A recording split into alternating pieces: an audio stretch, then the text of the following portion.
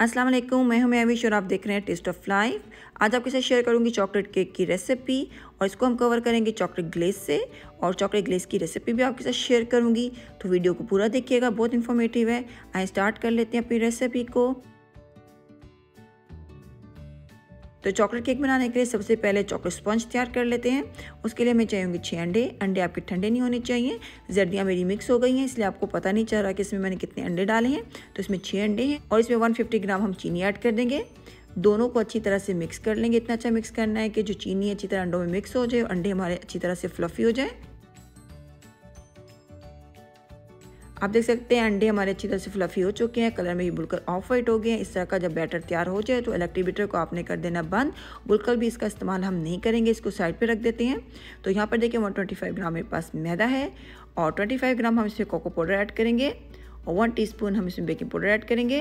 इन सब चीज़ों को अच्छी तरह से मिक्स कर लेंगे। आप चाहे तो बेकिंग पाउडर को स्किप भी कर सकते हैं, उसके बगैर भी केक बहुत अच्छा बन जाता है।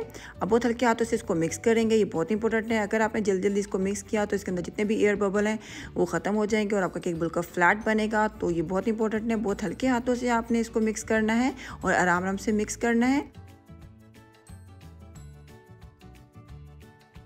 आप देख सकते हैं चॉकलेट केक का जो बैटर है, वो हमारा तैयार हो चुका है। इसको रख देते हैं हम साइड पर। देखने में आपका बैटर भी इसी तरह का लगना चाहिए। और यहाँ पर देखें, दो मेरे पास है बेकिंग पैन जिनको मैंने ग्रीस करके पहले से रखा हुआ है। आप पैन को कैसे परफेक्ट लाइन कर सकते हैं, वीडियो मौजूद है मेरे चैनल पर आप चेक कर सकते हैं। अब इक्वल अमाउंट का जो बैटर है, दोनों पैन में डाल देंगे। मैं दो केक पैन में अपना बैटर डालती हूँ, ताकि मुझे कटिंग में आसानी हो। अगर आपके पास दो ना हो तो आप एक पैन में भी ये बैटर बना सकते हैं। अब केक को हम 180 एटी सेल्सियस पे 25 मिनट के लिए बेक होने के लिए रख देंगे। अगर आपके पास ओवन ना हो तो चूल्हे पर भी आप परफेक्ट बेकिंग कर सकते हैं, किस तरह कर सकते हैं, वीडियो मौजूद है मेरे चैनल पे, बिल्कुल आप चेक करिएगा। तो आप यही स्पंज जो है चूल्हे पर भी बिल्कुल बना सकते हैं। तो केक को बेक होने के लिए मैं रख देती हूँ। आप देख सकते हैं केक हमारा बेक हो चुका है इस टाइम पर गर्म है थोड़ा सा ये नॉर्मल हो जाएगा तो फिर इसको मैं बीच में से कट कर लूँगी। तो अब हम तैयार कर लेते हैं चॉकलेट ग्लेस बनाना। चॉकलेट ग्लेस बनाने के लिए हमें चाहिए होगी चीनी और थोड़ा सा हम पानी का इस्तेमाल करेंगे। कोको पाउडर डालेंगे और आँच को हम रखेंगे मीडियम मीडियम आँच पे हम इसको पकाएँगे। मसल चम्मच आपने हिलाते रहना इतना पकाना है कि चीनी जो है हमारी डिजॉल्व हो जाए और कोको पाउडर अच्छी तरह मिक्स हो जाए।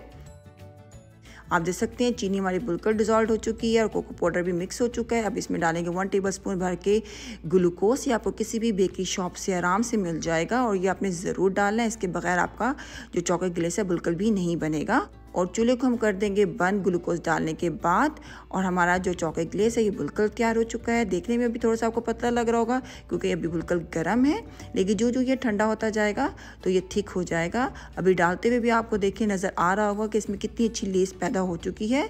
तो ये परफेक्ट चॉकलेट ग्लेस की रेसिपी है, इसको बना के आप टू वीक्स के लिए फ्रिज में रख सकते हैं। तो किसी भी शेक में या डेज़र्ट में या किसी भी केक के ऊपर आप डालकर इसको इंजॉय कर सकते हैं। तो बहुत ही ये अच्छी रेसिपी है। तो चलें जी चॉकलेट ग्लेस तैयार हो चुकी है हमारी। दो घंटे के लिए इसको रख देते हैं हम इसी तरह शेल्फ पर और उसके बाद इसको हम केक में इस्तेमाल करेंगे। तो अब बना लेते हैं चॉकलेट ग्लेस फ्रॉस्टिंग। उसके लिए हमें चाहिए होगी विपिंग क्रीम। क्रीम आपकी ठंडी होनी चाहिए और मेरी क्रीम ऑलरेडी मीठी है तो इसमें मैं चीनी का इस्तेमाल नहीं करूँगी। अगर आपकी क्रीम मीठी ना हो तो आप इसमें आइसिंग शुगर का इस्तेमाल कर सकते हैं। वन कप और इसको थोड़ा सा हम कर लेंगे विस्क क्रीम हमारी विस्क हो चुकी है थोड़ी सी इसमें डालेंगे हाफ़ कप चॉकलेट ग्लेस ये वही ग्लेस है जो भी आपके सामने मैंने तैयार की थी। तो ये गर्म नहीं होनी चाहिए। दो घंटे पहले मैंने इसको बनाया था। इस टाइम पे ये बिल्कुल नॉर्मल है। थोड़ा सा और हम इसको बीट कर लेंगे।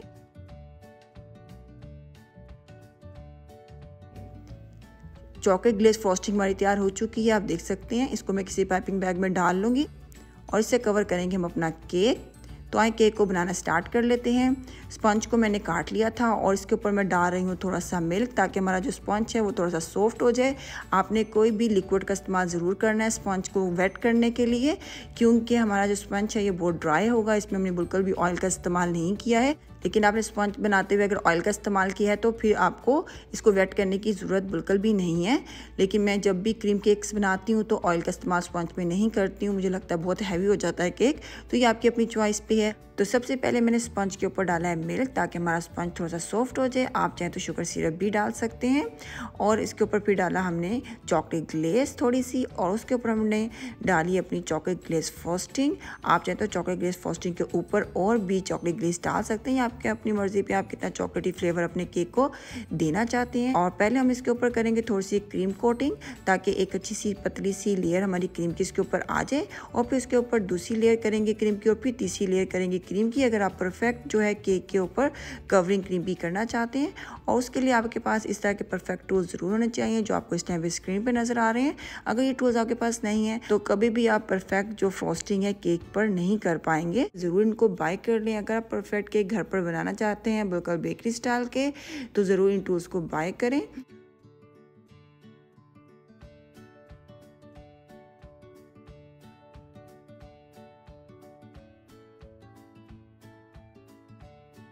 तो आप देख सकते हैं केक को मैंने कर लिया, बहुत अच्छी तरह से क्रीम से कवर अब इसको दो घंटे के लिए रख देती हूँ मैं फ्रिज में अच्छी तरह से ठंडा होने के लिए। आप देख सकते हैं दो घंटे हो चुके हैं और केक इस टाइम पे मेरा बुलकर ठंडा है और आपका केक बुलकर ठंडा ही होना चाहिए जब आप इसके ऊपर चॉकलेट ग्लेस डाल रही हो और चॉकलेट ग्लेज जो है वो मेरी इस टाइम पे बुलकर नॉर्मल है बुलकर भी ये गर्म नहीं है। दोनों चीज़ों का आपने बहुत ख्याल रखना है। अगर आपका केक ठंडा नहीं होगा और क्रीम अच्छी तरह से सेट नहीं होगी तो आप जब चॉकलेट ग्लेज इसके ऊपर डाल रहे होंगे तो क्रीम आपकी चॉकलेट ग्लेज के साथ बह जाएगी। तो इस चीज़ का आपने बहुत ख्याल रखना है कि केक आपका सही चिल होना चाहिए और आपकी जो क्रीम है अच्छी तरह सेट हुई हुई हो, उसके बाद आपने चॉकलेट ग्लेज इसके ऊपर डालनी है। और आप देख सकते हैं कितनी प्यारी हमारी चॉकलेट ग्लेस ने केक को कवर कर लिया है। जो नीचे चॉकलेट ग्लेस गिरा है, उसको आप आराम से निकाल के किसी भी एटेड बॉक्स में रख सकते हैं और ये बिल्कुल ख़राब नहीं होता इसको दोबारा आप यूज़ कर सकते हैं। तो अब इसको हम कर लेते हैं थोड़ा सा डेकोरेट यहाँ पे मेरे पास है वाइट चॉकलेट वाइट चॉकलेट से मैं थोड़ी सी लाइनिंग डाल लूँगी।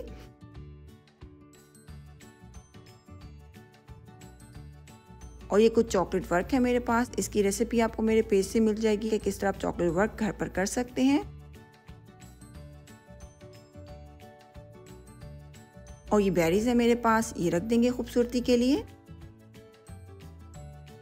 और ये ब्लैक फॉन्डेंट जिसकी मैंने छोटी छोटी बॉल्स बना ली हैं। इससे हम साइडों को कवर कर लेंगे केक की, ताकि केक में एक फिनिशिंग आ जाए।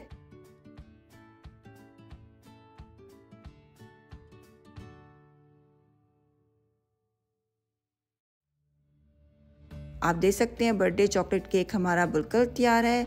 उम्मीद करती हूँ आज की रेसिपी आपको अच्छी लगी होगी। अगर आप न्यू है मेरे चैनल पे तो चैनल को सब्सक्राइब करना बिल्कुल ना भूलिएगा। और वीडियो अच्छी लगी तो ज़रूर लाइक कर दें। इंशाल्लाह नेक्स्ट टाइम मिलेंगे एक नई रेसिपी के साथ। अपना बहुत ख्याल रखिएगा, मुझे दुआ में याद रखिएगा। अल्लाह हाफिज़।